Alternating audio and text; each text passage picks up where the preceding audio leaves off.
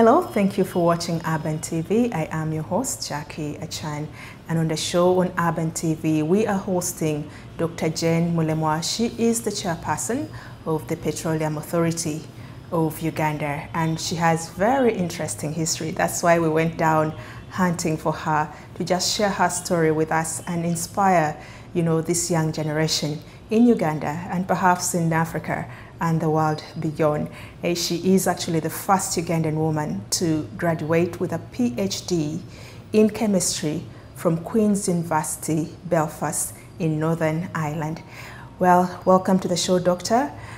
I'm curious about your journey into the world of science. Where did it all start from? I went to school like anyone else, uh, right from primary school. I never went to nursery school. I went to primary school in first in Bukurula Primary School. That's where my ancestral home is for two years. Then my father, my late father, who was a magistrate, thought it fit to take me to another good school by that time. That was St. Agnes Boarding School, Nagalama, all the way in Mukono. Now, you know, I don't know if it is Kayunga district or still Mukono district. So I joined that school, Nagarama, for primary three up to primary six at that time. I then went to Mount St. Mary's College, in Namagunga. In those days, we had junior school. So, junior school was two years. Uh, at that time, we called it P7 and P8. So, I'm one of the last people who, who, who took P8. Then I stayed in Namagunga for O level and A level. So at that time in O level, we took all subjects, both arts and science subjects. And uh, I just took an interest in science subjects. I loved the reactions. You, you, you know, you mix two things and then you get uh, uh, either poop or a boom or a change of colors, and that really interested me. And I must say, one of my teachers was very, very good. In fact, the, the physics teacher was meticulous. And uh, she would come, we had a book by that time called Abbott, Physics Abbott. It was big, but this Indian lady would come smartly dressed, always on time, and just, you can, it's like she was reading it off, but it was all in her head. Mm. And I said, I must be like her. Then we had a, a, a nun. Mm. Uh, she was the one who taught us chemistry, mm. and she was very, very interesting, explaining everything, and I loved that. So when I came to O level, at the end of O level, we had to choose to do art subjects or science subjects. I was very good at both, but I loved the sciences. So I picked the sciences, and I did chemistry, biology, and physics for my A level. So that's where I started with the love of sciences. Now, at the end of uh, A level, I didn't do as well as I would have expected. And in fact, I got one principal. And ideally, I would not have gone, in, gone to Makerere University because the minimum was two principals. Yes.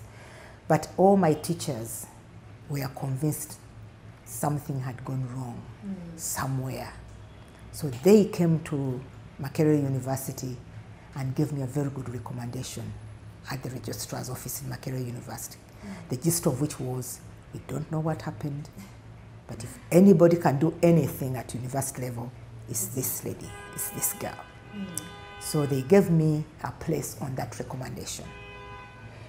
And at that time, I thought I wanted to do medicine. It was the in thing. So, because of the recommendation, they gave me a chance to do medicine. And at that time, the sort of uh, induction involved us going up to Mulago University, M- Mulago Hospital. And the first place we went to was a mortuary. So I said, Where are we going? Mortuary. I said, Uh, uh, uh, uh, not me. I simply took back the route. I let my colleagues go in.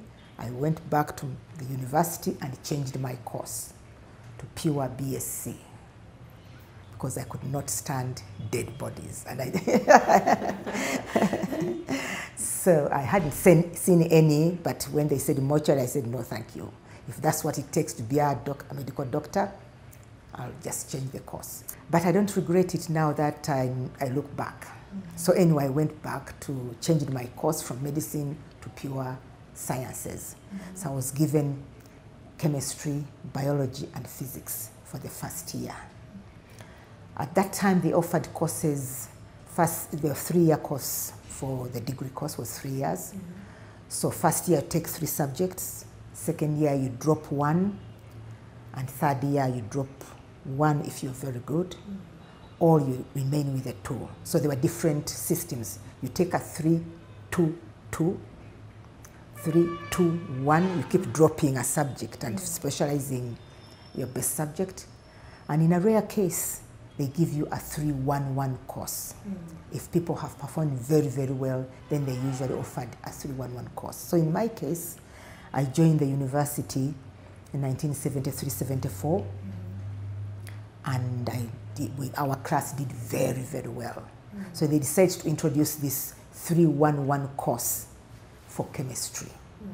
Since I was one of the best performers, they gave me the chance to, to, to take that system if I wanted it. Mm. And I did. But my lecturers somehow thought that a woman could not do that. Mm. And uh, I must say they were meaning well. And one of them came and said, But you see, Jane, the last woman that attempted that 311 course mm. was 10 years back. They did so poorly. I don't think a woman can do it. Did that motivate you? Well, that's the thing. People, what the, people don't know is that for me, when you challenge me, it's like you've motivated me.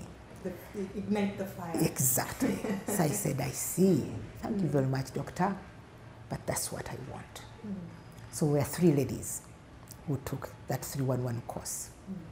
So I got my friends, my lady friends, and I said, girls, we better show them what we are made of. Let's show them that they are wrong. So after the third year, I got an upper second class degree in that 311 course. Mm. And uh, they were all amazed. My other colleagues got uh, three, uh, they, they didn't make, they got um, a lower second, mm both of them. Mm but I got an upper second, actually missing the first class by just a few, a few marks, yes. So one of the lecturers was very impressed and he was coming from Ireland. So he must have talked to his, his, former university, the University of Belfast in Northern Ireland, and told them about this girl who was brilliant. So they offered me what they call a studentship mm. at that time. Mm. So I got that information and of course the process of getting a passport involved getting you know uh, recommendations from different people mm.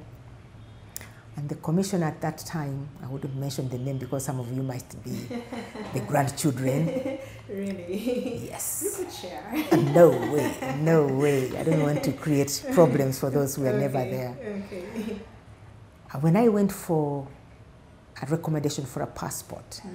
This good gentleman said, no, unless you have sex with me, there is no recommendation. And that's why I cannot mention the names. Wow. So I said, you can go hang, keep your passport. So for two years, I couldn't go for this studentship because the person who was supposed to recommend me for a passport simply wanted sex in exchange. And for me, that was out of the question. Now let me pause there and, and tell you why that was out of the question. Mm. I've told you my father was a, magistrate. Yes. And I must say I owe everything that I am today to my father. Because as a young girl child, mm. he believed in me. He would say, ah, I don't know if you know the late Professor Namboze. He's a tiny, a, person, a lady of small stature. I think I've read somewhere about and uh, his dad was a friend of my dad. So my father knew Professor Namboze, but I'd never seen her. So my father would say, but if that tiny little lady can do so well, he, she even operated on her own dad. How about you, my girl? You can do it. So I grew up knowing that I can do it because my dad said so. And uh, for the first few years, particularly in primary school, I would do very well to to please my dad because you do very well. You go to church, my dad calls his friend and says, You see my girl, she's done it again. She's done very well. Mm. So for the first few, un, un, unknown to me, I was doing very well to ensure that my dad continued to praise me He's proud of you. is proud of, of me. Mm. So by the time I came across people who thought I couldn't do it, I had self confidence, self esteem that you mm. cannot believe. Mm. They said, who, in my case, I would say, but who are you to say I can't do it? Right. I know I can do it Right. because my dad said I can do it, and I've been proving that I can do it. So, when this man wanted sex for my passport, I said, You can keep the passport. Mm. But at that time, I'd also, because I'd done very well, I'd been offered uh, a place in Makerere University to uh, what you'd call a graduate uh, internship, or you know, at that time, because when I was uh, because I was very good, they had offered me a, a place to teach As a graduate. graduate. So I I would teach my own colleagues because, and the first time I can't forget the first time I went to, to, to class, to lecture room, to yes. They said, ah, "Hey, Jenny, Lord, guess, what are you doing there? I said, I'm your lecturer. Ah, and they had a good laugh. they had a good laugh. Until I said, hey, people, I am the lecturer, and when I am the lecturer, this is what you do. And they were all boys. yes, they were all boys, because my two other colleagues had dropped out. So I started by lecturing there, and then as I lectured at uh, Department of Chemistry, I realized that we needed science teachers, but we didn't have people taking sciences.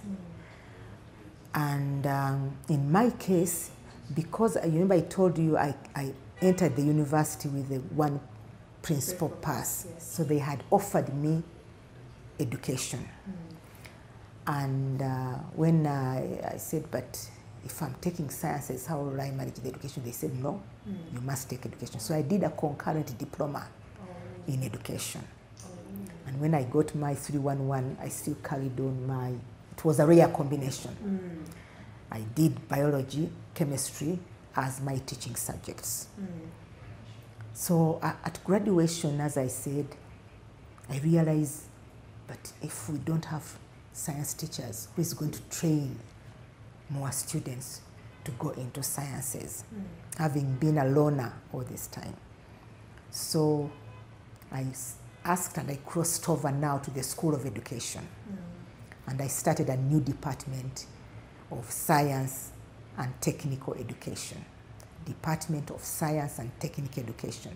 By that time, it was called short uh, the DOSET, hmm. Department of Science and Technical Education. Mm. So I initiated it with a visiting professor. I continued to develop it, established it, and headed it. Then I recruited everybody to join as lecturers mm. at that department. Mm. So again, the first lecturers were men. Men everywhere in the world. Uh, exactly. yes. and uh, had, it had its challenges when you're the only woman and you're the head of department and the people you're heading don't think you should be there because they think you, you don't know. But for me, I think uh, that self-belief and self-esteem, I really don't care what you say as long as I've listened and found no point in what you're saying. Mm. And as long as I believe that what I'm doing is right, that's what I follow. Mm. I find that when you love what you do, you get commitment, you enjoy what you do, and in my case, I try to give it my best. Mm. And giving it my best means I consult So when I started this new department, everybody was arts oriented. I started the department, recruited my colleagues that were physical, uh, coming from physics, chemistry, biology, and even uh, physical education. So that's how I started this department, DOSET, and I was there in DOSET for, from, I think the department was started in 1984 or 85. Well, we shall take a break. We are speaking to Dr. Jane Mulemwa, who is telling us her career journey into the world of science and how she managed to get, you know, to the top of being uh, the chairperson of uh, the Petroleum Authority of Uganda. We shall come back shortly.